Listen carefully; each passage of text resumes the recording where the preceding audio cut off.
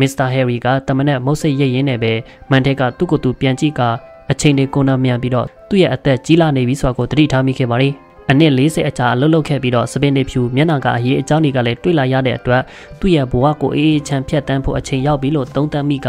အမွေစက်ခံမဲ့လူအကြောင်းကိုတွေးတောနေခဲ့ပါတယ်။ဟယ်ရီကအခုစင်တော့85နှစ်အရွယ်ရောက်နေခဲ့ပါပြီ။ဒါပေမဲ့သူကအမြဲတမ်းတွက်လက်ပြီးတော့လူဝဲနဲ့စကားပြောဆိုဆက်ဆံရတာကိုနှစ်သက်တဲ့လူဖြစ်ပါတယ်။ ဒါပေမဲ့သူ့ရဲ့အသက်အရွယ်အရသူ့လုပ်ငန်းစူပါမားကတ်6ခုကိုလွှဲပြောင်းပြီးပြီးတော့ဦးစီးခိုင်းတင်နေပြီလို့ဆုံးဖြတ်ချက်ချခဲ့ပါတယ်။ဒါကြောင့်သူ့ရဲ့ရှင်းနေတဲ့ဆွေးနွေးဖို့ထွက်လာခဲ့ပါတယ်။ဟယ်ရီကစူပါမားကတ်ဆိုင်ခွဲတွေဖွင့်လှစ်နိုင်ခဲ့ပြီးအမျက်ငွေများများရပြီးတော့နောက်ထပ်လည်းဆိုင်ခွဲတွေထပ်တိုးရှယ်လို့ရပါတယ်။အသက်အရွယ်ကြီးရနေပြီဖြစ်ပေမဲ့သူ့ရဲ့လုပ်ငန်းကိုကောင်းကောင်းစီမံခန့်ခွဲနိုင်တဲ့လူဖြစ်ပါတယ်။သူကတယောက်တည်းနေတဲ့လူဖြစ်ပြီးလုပ်ငန်းခွဲအားလုံးကိုတယောက်တည်းပဲစီမံခန့်ခွဲနေရပါတယ်။သူ့ရဲ့အလုပ်သမားတွေအပေါ်မှာလည်းအမြဲတမ်းရရောတတ်သူတယောက်ဖြစ်ပါတယ်။ သူ့ရဲ့ထူးခြားချက်ကတော့သူအိမ်ထောင်မပြုတ်စနီးသားသမီးဆွေမျိုးသားရှင်လည်းတယောက်မှမရှိတာဖြစ်ပါတယ်။သူ့ရဲ့ကိုယ်ပိုင်စူးစမ်းအားထုတ်မှုနဲ့ပဲစူပါမားကတ်6ခုကိုဖွင့်နိုင်ခဲ့တာပါ။သူအသက်35နှစ်အရွယ်တုန်းကသူ့ရဲ့ကိုယ်ပိုင်လုပ်ငန်းအဖြစ်ဓာတ်ဆီဆိုင်ဘေးမှာပထမဆုံးကုန်စုံဆိုင်ငယ်လေးကိုစဖွင့်ခဲ့ပြီးအဲ့ဒီကနေတဆင့်သူ့ရဲ့အလုပ်စူးစမ်းမှုအမားဝေကနေလေးလာတည်ယူမှုနဲ့တပိဖြည်းနဲ့ပဲဝင်ငွေကိုအရင်အနည်းလောက်ကတဆတဆအောင်မြင်လာခဲ့တာဖြစ်ပါတယ်။သူ့လုပ်ငန်းရဲ့အမွေဆက်ခံသူကိုမရှာခင်မှာဟယ်ရီကသူ့ရဲ့ရှင်းနေ ဝက်ဆန်ကိုစတိတ်နဲ့တွေ့ဆုံခဲ့ပါတယ်။ဝက်ဆန်နာသူ့ရဲ့ရုံခန်းကိုဖောက်တဲ့ဝေအချိန်မရွေးလာလို့ရအောင်လှုပ်ထားခဲ့တာပါ။ဟယ်ရီကသူ့ရဲ့ပြဿနာဟာသူ့ရဲ့အနာဂတ်ဖြစ်လို့နေပါတယ်။ဒီအတွက်သူ့အမွေဆက်ခံမဲ့လူကိုရှားဖို့အတွက်ခက်ခဲနေတဲ့အကြောင်းရှင်းနေကိုရှင်းပြပါတယ်။ပထမတော့ရှင်းနေဝက်ဆန်ကလုပ်ငန်းတစ်ခုလုံးကိုပရဟိတအဖွဲ့တစ်ခုခုစီလူလိုက်မယ်ဆိုရင်တော့သူကလည်းနာမည်ကောင်းရလိမ့်မယ်လို့အကြံပေးပါတယ်။ဟယ်ရီကပရဟိတအဖွဲ့အစည်းအဝေးဟာသူ့ရဲ့လုပ်ငန်းကိုရေရှည်ကင်တွယ်နိုင်မယ်လို့မထင်ဘူးဆိုပြီးပြောခဲ့ပါတယ်။ ရှင်းနေကတေချာမှုရှိစေဖို့အတွက်တကယ်ပဲဟယ်ရီစီမှာဆွေမျိုးသားချင်းမရှိဘူးလားဆိုတာကိုအတိပြုမေးခဲ့ပါတယ်။ဟယ်ရီကသူဟာမိဘမဲ့ကေဟာမှာကြီးပြင်းလာတာဖြစ်ပြီးတော့သူ၃နှစ်သားအရွယ်မှာကေဟာရောက်ခဲ့တာဖြစ်ပြီးသူ့ရဲ့မိသားစုနဲ့ပတ်သက်တဲ့အကြောင်းအရာတွေကိုဘယ်သူမှမသိပါဘူးလို့ဆိုခဲ့ပါတယ်။9နှစ်သားအရွယ်မှာဆိုတော့မွေးစားအိမ်တစ်ခုမှာနေခဲ့ရပြီးနောက်ထပ်9နှစ်သားအရွယ်မှာတခြားအိမ်ကိုပြောင်းခဲ့ရပါတယ်။နောက်ဆုံးတော့မွေးစားမိသားစုနဲ့မနေနိုင်တော့လို့အသက်16နှစ်မှာပဲဝင်ငွေနဲ့ဆယ်ကျော်သက်လူငယ်ပရိုဂရမ်တစ်ခုကနေပထမဆုံးအလုပ်ရခဲ့ပါတယ်။အဲ့ဒီအလုပ်ကနေတစ်ဆင့်လူငယ်နဲ့ဘယ်လိုမျိုးဆက်ဆံရတယ်ညှိနှိုင်းမှုလုပ်တဲ့နည်းတွေကိုတင်ယူခဲ့ပါတယ်။နေ့အနေငယ်အကြမှာပဲဓာတ်စီဆိုင်တစ်ခုရဲ့မန်နေဂျာဖြစ်လာခဲ့ပါတယ်။သူကတိုက်ခန်းကျင်းလေးမှာတယောက်တည်းနေပြီးတော့သူ့ရဲ့လဆာကကားတစ်စီးဝယ်စည်းနိုင်တဲ့အခြေအနေရှိခဲ့ပါတယ်။သူအလုတ်လုတ်နေတဲ့ဓာတ်စီဆိုင်ရဲ့ဘေးမှာရုံခန့်အလွတ်တစ်ခုရှိပါတယ်အခန်းကိုဒီအတိုင်းကြီးပြစ်ထားတာကနှမျောစရာကောင်းတယ်လို့သူကအမြဲတွေးနေခဲ့ပါတယ် ဒါကြောင့်ဓာတ်စီဆိုင်ပိုင်ရှင်သူ့ရဲ့တထေးနဲ့ညှိနှိုင်းပြီးတော့အခန်းကိုပြုတ်ပြင်ကစတိုးဆိုင်ဖွင့်လှစ်လိုက်ပါတယ်အခန်းပိုင်ရှင်ကိုရတဲ့အမျက်ငွေရဲ့30ရာခိုင်နှုန်းကိုပေးပြီးတော့ကျန်တဲ့အမျက်ငွေကဟယ်ရီရတာဖြစ်ပါတယ်လိမ္မာပန်းနဲ့ပြီးတော့အကွက်မြင့်တက်တဲ့ဒီမိဘမဲ့ကလေးဟာဒီစတိုးဆိုင်ဖွင့်ဖို့အတွက်တနစ်ခွဲကြာခဲ့ပါတယ်ဟယ်ရီကပထမနှစ်နှစ်မှာပဲသူစီးပွားရေးလုပ်လို့ရတဲ့ပိုက်ဆံနဲ့သူ့ရဲ့တထေးဟောင်းစီကအဆောက်အဦကိုအပီးအပိုင်ဝယ်ယူခဲ့ပါတယ်တနစ်အကြာမှာဓာတ်စီဆိုင်လုပ်ငန်းကဈေးကွက်သေးလာပါတယ် ဒါကြောင့်ဟယ်ရီဟာသူ့ရဲ့ဒီလိုအောင်မြင်မှုကြီးရဖို့အတွက်ရရှိလာတဲ့အမျက်ငွေကိုအမြဲတမ်းအရေးအနည်းပြန်ထည့်ခဲ့ပါတယ်။သူကမိသားစုမရှိဘဲတယောက်တည်းရုန်းကန်ခဲ့ရပေမဲ့သူ့ရဲ့လုပ်ငန်းတွေကိုတော့တရရောက်စီလွဲပြောင်းပေးရှင်တယ်လို့ရှင်းနေကိုပြောပါတယ်။ရှင်းနေဝက်ဆန်ကသူ့အတွက်အကြံဉာဏ်ကောင်းပေးဖို့အတော်ကလေးကိုအခက်တွေ့နေရပါပြီ။ဒါပေမဲ့ဝက်ဆန်ဟာဟယ်ရီအတွက်အကောင်းဆုံးသောအကြံဉာဏ်ကိုပေးနိုင်ခဲ့ပါတယ်။မင်းရဲ့ဝန်ထမ်းတွေအားလုံးအကြောင်းကိုတိဖို့ကမလွယ်မှန်းငါတိပါတယ်။ဒါပေမဲ့ဒီစူပါမားကတ်တွေကမင်းရဲ့ဘဝပဲမဟုတ်လား မင်းအတွက်အလုပ်လုပ်ပေးနေတဲ့လူတယောက်ကိုမင်းရဲ့အမွေစက်ခံမဲ့လူအဖြစ်ရွေးချယ်မယ်ဆိုရင်ကောဘယ်လိုသဘောရလဲလို့မေးလိုက်ပါတယ်ဟယ်ရီကလည်းသူ့ရဲ့အဆိုးကိုအတော်ကလေးသဘောကျသွားခဲ့ပါတယ် အားလုံးကကမ်ပဏီအတွက်အလုပ်လုပ်ပေးနေတယ်ဆိုပေမဲ့သူရွေးချယ်မဲ့လူကိုတော့စိတ်နေစိတ်ထားအပေါ်မူတည်ပြီးရွေးချယ်မယ်လို့ဆုံးဖြတ်လိုက်ပါတယ်မင်းကဒီအလုပ်အတွက်ပြီးပြည့်စုံတဲ့လူပဲဆိုပြီးတော့ဟယ်ရီကရှင်းနေဝက်ဆန်ကိုပြောလိုက်ပါတယ်ရှင်းနေဟာခဏတော့ခေါင်းရှုပ်သွားခဲ့ရပါတယ်မင်းဟာစင်ရသားတယောက်လိုဝတ်ဆင်ပြီးစူပါမားကတ်တွေမှာဝန်ထမ်းတွေဘယ်လိုမျိုးပြုမှုနေတာလဲဆိုတာကိုကြည့်ရမယ်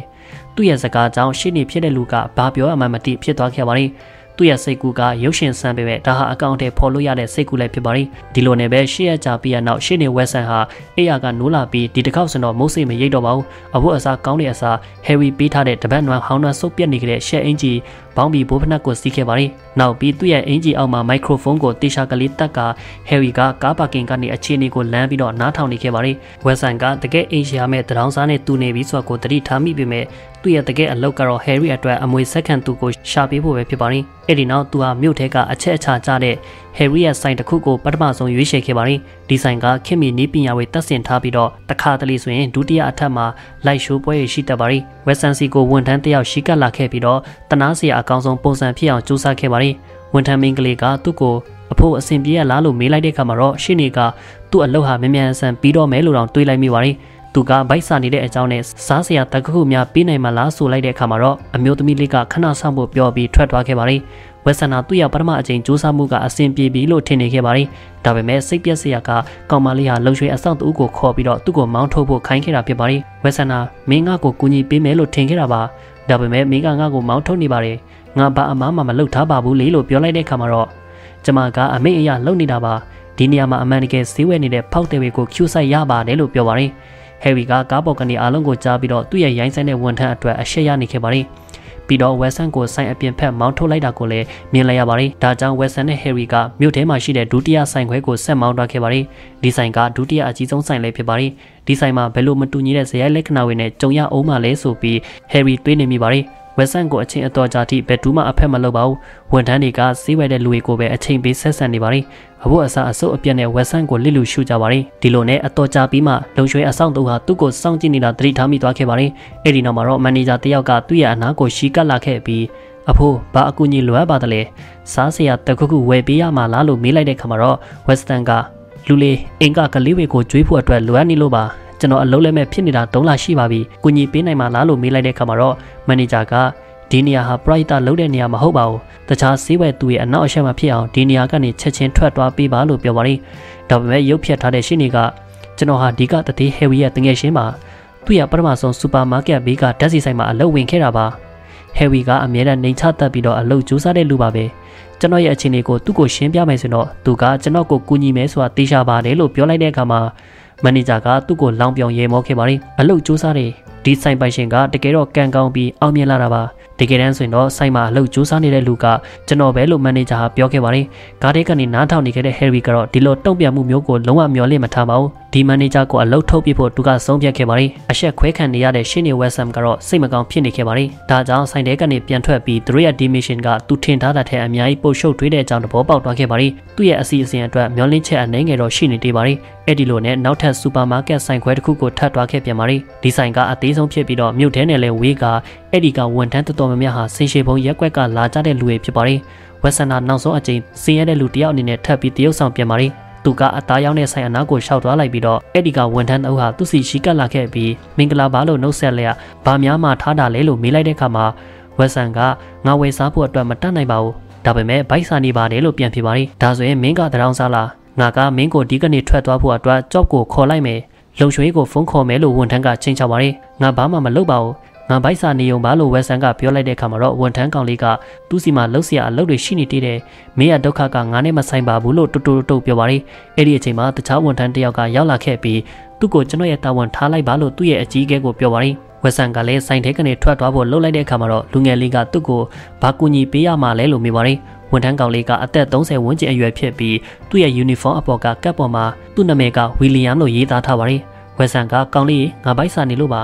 စားဖို့အတွက်တခုခုပေးနိုင်မလားဆိုပြီးပြောလိုက်တဲ့အခါမှာတော့သူနဲ့လိုက်ခဲ့ဖို့ပြောလိုက်ပြီးဝန်ထမ်းဟာထမင်းစားတဲ့မိဖို့ရှောင်းထဲကိုခေါ်ထားပါတယ်သူ့အတွက်အသားငယ်ပေါမုတ်ပြီးစားတဲ့ချက်နဲ့ဖြော်ရည်တစ်ခွက်ကိုစီစဉ်ပေးပါတယ်နောက်ဆုံးတော့ဝက်ဆန်ကိုကူညီမဲ့လူပေါ်လာခဲ့ပါပြီ ကောင်လေးဟာသူ့ရဲ့လှုပ်ဖို့ကင်ဖက်အပြုတ်မှုအတွက်လည်းတောင်းပန်စကားဆိုခဲ့ပါတယ် ဒီကုံတိုက်မှာအလုပ်လုပ်ကြတဲ့ဝန်ထမ်းတွေဟာအကြီးအကဲတွေကိုဖားရှင်တာကြောင့်လူတိုင်းကိုညီတူညီမျှဆက်ဆံရမယ်ဆိုတာကိုမိသွားတတ်ပါတယ်ဝက်ဆန်ကကောင်လေးရဲ့အပြုတ်မှုနဲ့စိတ်သက်သာသူ့ရဲ့နှလုံးသားကိုခန်းစားစေရပြီးတော့မုတ်စားရင်းနဲ့ပဲမြေတောင်ကျခဲ့ရပါတယ်ဝီလီယမ်ကသူဒီကုံတိုက်မှာအလုပ်လုပ်ရတာအရန်ကောင်းတဲ့အချက်တစ်ခုပဲလို့ပြောပြပြီးတော့မိဖို့ချောင်းထက်ကမုတ်တွေအများကြီးလှုပ်ပြီးတော့တနေ့ရောင်းလို့မကုန်တာတွေကအကုန်လုံးလွတ်ပြစ်ရပါတယ်လို့ပြောပြက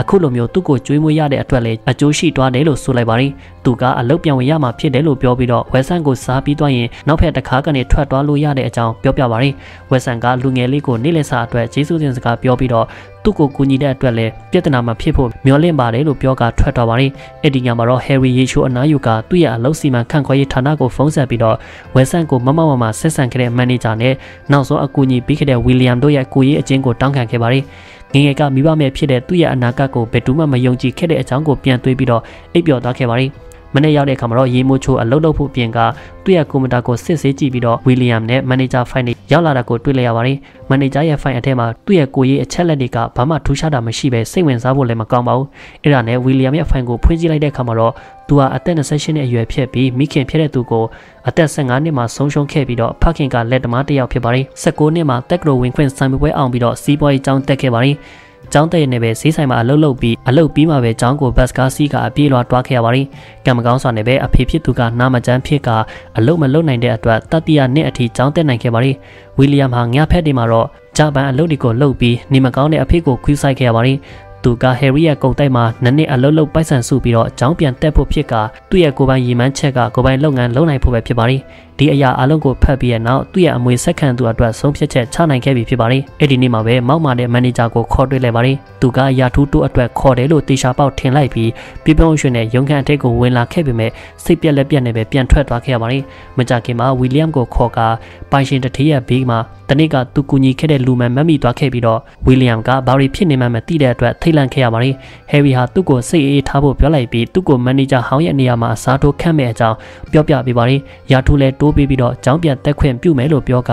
ဝီလျံရဲ့အပြုမှုကတခြားဝန်ထမ်းတွေအတွက်စံပြဖြစ်တယ်လို့ဆိုပါတယ်။ဟယ်ရီကသူ့ရဲ့နေရာကိုစက်ခံရမယ့်အကြောင်းနဲ့ပတ်သက်ပြီးစကားတခုမှမပြောခဲ့ပါဘူး။အဲ့ဒီလိုနဲ့ဟယ်ရီက၃နှစ်အကြာမှာကွယ်လွန်သွားခဲ့ပြီဖြစ်ပါတယ်။ရှင်းနေဝက်ဆန်ကဝီလျံကိုခေါ်တွေ့ပြီးတော့စာတစောင်ပြီးခဲ့ပါတယ်။စာအထက်ကအဆိုအရဆိုတော့ဝီလျံဟာစူပါမားကတ်ဆိုင်ခွဲအားလုံးရဲ့ပိုင်ရှင်ဖြစ်ပြီးဆိုတဲ့အကြောင်းကိုသိလဲရပါတယ်။ကောင်လေးကအတော်ကိုအံ့အားသင့်သွားရပါတယ်။ဒီစိန်ခေါ်မှုအစ်စ်ကိုလက်ခံပြီးဒီ surprise အတွက်အံ့အားသင့်နေမယ်ဆိုတာသိတယ်လို့စာထဲမှာလည်းဖော်ပြထားပါတယ်။ငါကိုယ်တိုင်ကမိဘမရှိပဲကြီးပြင်းလာခဲ့တယ်ဆိုတော့လွန်ခဲ့တဲ့၃နှစ်ကမင်းအကူအညီပေးခဲ့တဲ့လူဟာငါဖြစ်လာနိုင်ပါတယ် အဲ့ဒီနေ့ကမင်းရဲ့အမှုအရာဟာငါရဲ့နှလုံးသားကိုနှွေးထွေးစေပါတယ်ကျေးဇူးပြုပြီးတော့နောက်လဲမင်းရဲ့စိတ်ဓာတ်တွေမပြောင်းလဲပါနဲ့ဒီပုံစံအတိုင်းပဲဆက်သွားပါလုပ်ငန်းတွေကိုလည်းတေချာကြိုးစားပြီးဦးစီးလုပ်ကင်ပါဒါပေမဲ့လူတွေကို cue ဆိုင်ဖို့တော့မမေ့နဲ့မင်းရဲ့အောင်မြင်မှုအတွက်ဆုတောင်းပေးပါတယ်လို့စာကိုအဆုံးတတ်ထားခဲ့ပါတယ်သူကရုံခန့်ပတင်းပေါက်ကနေကောင်းကင်ကိုမောကြည့်လိုက်ပြီးဟယ်ရီကိုကျေးဇူးတင်ပါတယ်လို့တီတိုရေရွတ်နေခဲ့ပါတယ်ကြည့်ရှုပေးကြပရိသတ်များအားလုံးကျေးဇူးထူးတင်ရှိပါခင်ဗျာ